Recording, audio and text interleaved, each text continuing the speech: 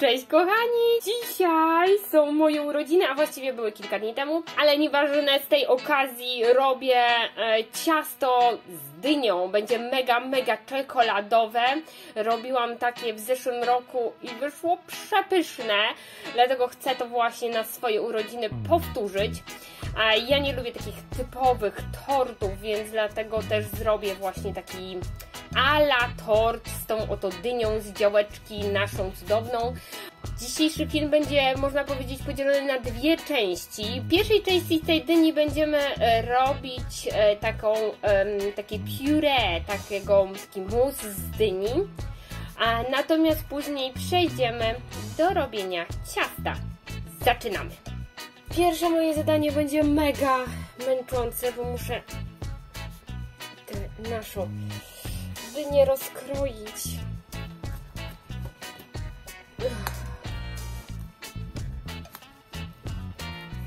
Nie lubię kroić dyni.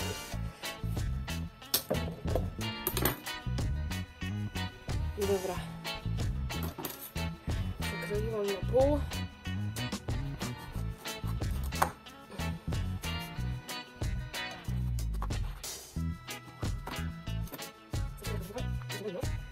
Możemy to robić ręką, łyżką. Już nie wiem, co jest wygodniej.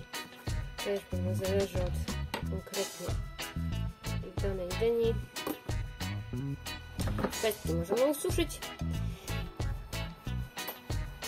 Albo zjeść, albo zostawić na przyszły rok na kolejne dynie. Całość przekładamy na blaszkę albo jakieś naczynie żaroodporne.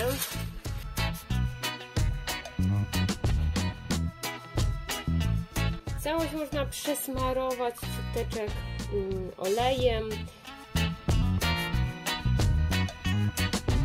Dynię wkładamy do nagrzanego piekarnika na 200 stopni, a góra dół na 30-40 minut do momentu, kiedy zobaczymy, że dynia jest już miękka. Minęło już e, pół godziny i nasza dynia jest już, zobaczcie, mięciutka, taka rozpływająca się. Czas na y, obieranie. Ona, zobaczcie, pięknie już odchodzi od naszej skórki.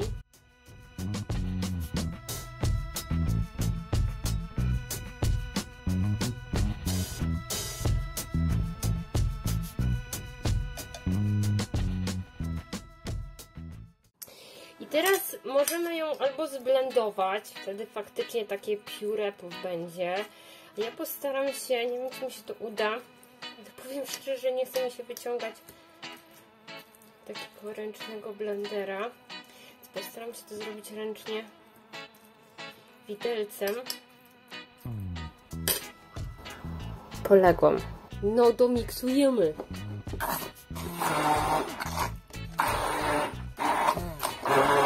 I tym samym mamy mus dyniowy.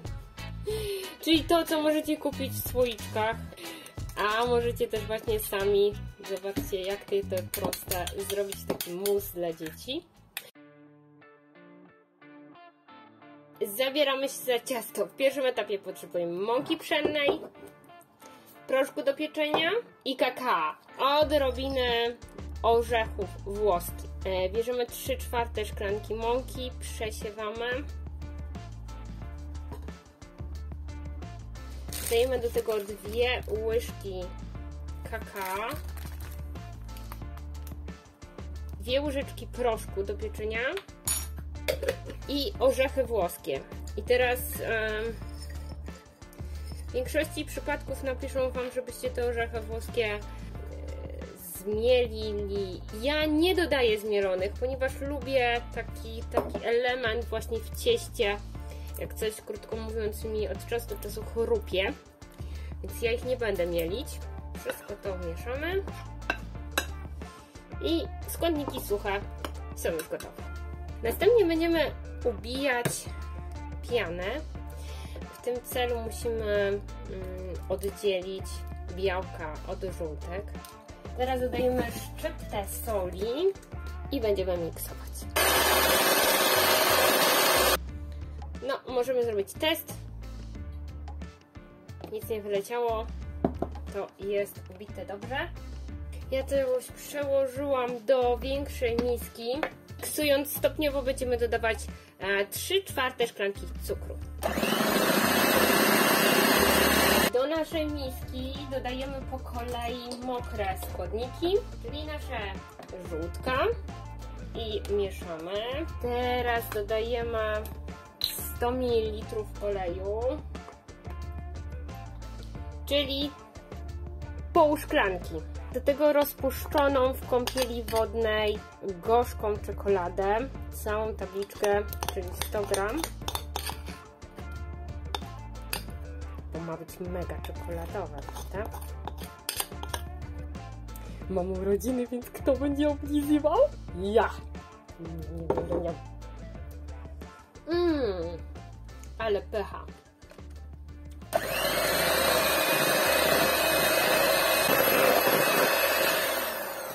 Do tego dajemy szklankę mm, musu naszego z dyni.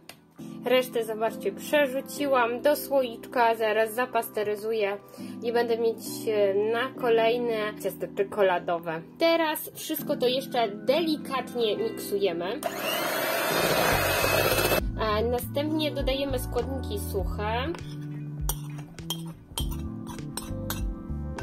I delikatnie je mieszamy. Nie każdy lubi, nie każdy y, chce dodawać, ale ja po prostu uwielbiam przyprawę do piernika.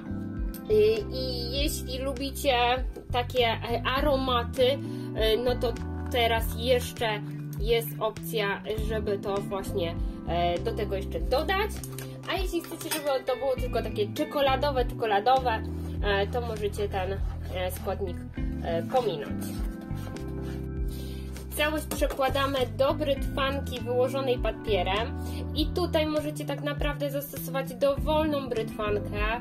Mm, ja chcę mieć to w formie takiego, no mówiłam, ala tortu e, urodzinowego, natomiast jeśli e, e, jeśli wy chcecie, to możecie robić to też na przykład w um, takiej keksówce lub prostokątnej brytwance, no wszystko um, jak tam uważacie, co macie pod ręką, to jest dowolność. Całość wkładamy do piekarnika na 180 stopni 30-40 minut e, do momentu suchego patyka. Moje ciasto już jest prawie gotowe, więc czas na zrobienie polewy. A ja tutaj do garnka wlałam 330 ml śmietany kremówki tej 30% i jak będzie już podgrzana, to będę stopniowo dodawać czekoladę. No i tu już od Was zależy, czy chcecie mieć um, taką bardziej polewę um, gorzką, czy bardziej mleczną. A to dodajecie taką oczywiście czekoladę i to jest tylko dla dorosłych, możecie dodać odrobinę chili. To jest taki bardzo fajny dodatek smakowy, polecam spróbować. Nasze ciasto już gotowe. E, teraz czas na polewę. A ja moje ciasto daję do wystudzenia i widzimy się za jakiś czas. Będziemy dekorować. Polewa już zastygła, teraz czas na dekorację. Mam tutaj trochę malin. Dołożę jeszcze listki mięty. I można jeszcze posypać na przykład troszeczkę. Tada! To już teraz ja lecę dmuchać świeczki. A Wam dziękuję za oglądanie. Mam nadzieję, że ten filmik Wam się spodobał. I życzę Wam smacznego. Buziaki! Pa, pa! Wow. Co wow? Podoba Ci się tort? Tak.